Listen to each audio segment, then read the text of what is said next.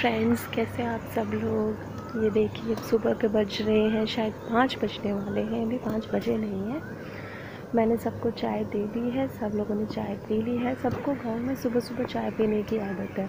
फिर चाय पी के सब लोग खेतों के लिए चले जाते हैं, इसलिए मैं सुबह मॉर्निंग में जल्दी चाय में बना के दे देती हूँ। तो अब मैं फ्री हूँ चाय बनाने के बाद, आप कुछ भी करो, मुझे चाय चाहिए सुबह के टाइम देखिए, अभी अभी चाँद भी नहीं गया है। यहीं पर है अभी, ये देखिए ऊपर। लेकिन आवाज़ सुन रहे हैं आप? कितनी अच्छी आवाज़ है। चिड़ियाओं की चहचहाट की आवाज़ सुनाई देती है सुबह के टाइम। यहाँ पे आप घूम सकते हो।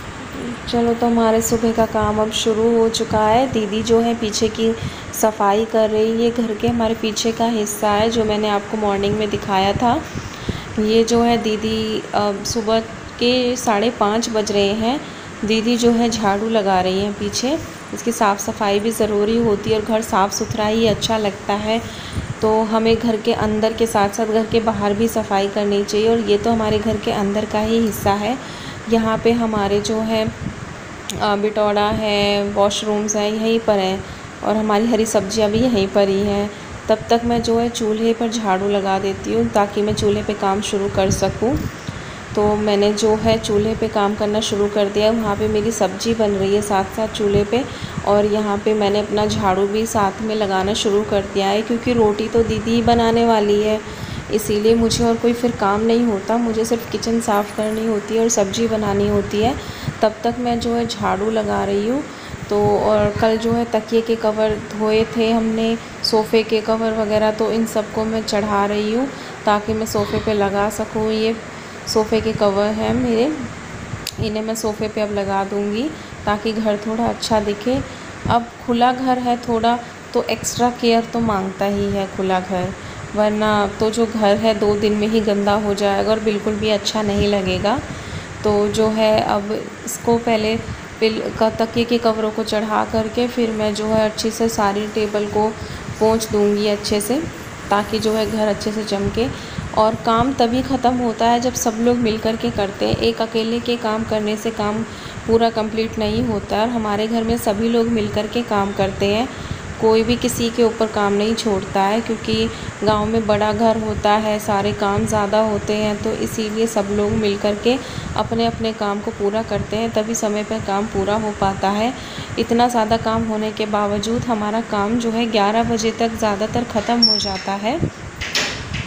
साफ़ सफ़ाई ख़त्म करने के बाद जो है मैं पोछा लगाना शुरू कर दूँगी, ताकि जो है मेरा काम ख़त्म हो जाए।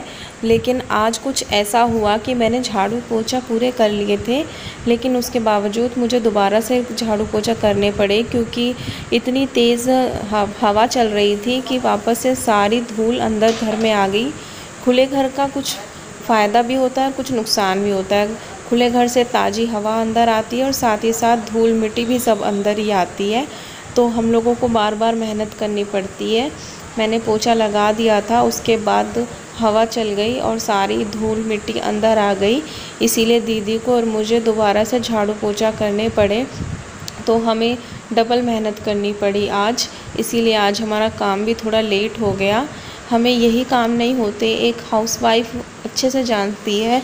कि उसे घर में और भी कितने काम होते हैं। एक झाड़ू पोछा से ही काम नहीं पूरे हो जाते। अब इतनी तेज़ आंधी चली कि फिर दीदी ने जो सारे में पानी का छिड़काव किया और फिर झाड़ू लगाई। कि कितनी हवा चल रही थी। जितना भी की थी। सुबह से जितनी मेहनत की थी सुबह से लगे हुए थे दीदी भी और मैं भी। झाड़ू किया, पोछा लगाया, लेकिन सारी मेहनत बेकार हो गई।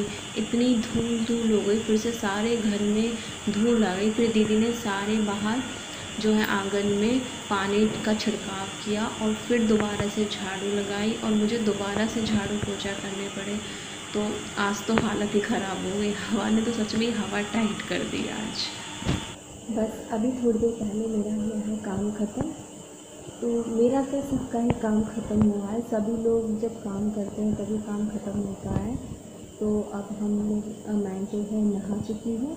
अब नहाने के बाद भी मैंने खाना खाऊँगी और खाना खाने के बाद हमारा दोपहर का काम अब ख़त्म हो चुका सुबह का काम सॉरी अब हम दोपहर तक के लिए फ्री हैं। तीन बजे तक के लिए अब हम लोग फ्री हैं। अब हमारे ग्यारह बज रहे हैं, ग्यारह बजे के आसपास बज रहे हैं। जब तक हम लोग नहा धो के, खा पी के बैठे होते हैं आराम से रेस्ट करने के लिए, अब हम सो कुछ भी करो। ये टाइम जो होता है हमारा अपने खुद के भी होता है। अगर कोई रिश्तेदार ना आए तो क्योंकि गेस्ट भी तो होते हैं ना जो आ जाते हैं। तो लॉकडाउन में वैसे इतने नहीं आ रहे हैं हम, लेकिन अगर आ जाएँ तो अलग बात है, वरना अब हम लोग फ्री हैं। तीन बजे तक के लिए फिर तीन बजे से गाँव में दूध करना स्टार्ट हो जाता है, भैंसों का न्यार करना होता है उनको नहलाना होता है, उन्हें पानी पिलाना होता है। हालाँकि ये मेरा काम नहीं है, मैं अभी तक भैंसों का काम नहीं करती और ना ही मुझे आता है करना तो मुझे सिर्फ़ घर घर का काम करना होता है।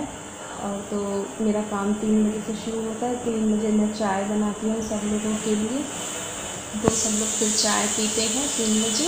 फिर अपना वो शाम का डेली रूटीन सेम वही होता है, औरतों की ज़िंदगी तो वही होती है सेम एक जैसी।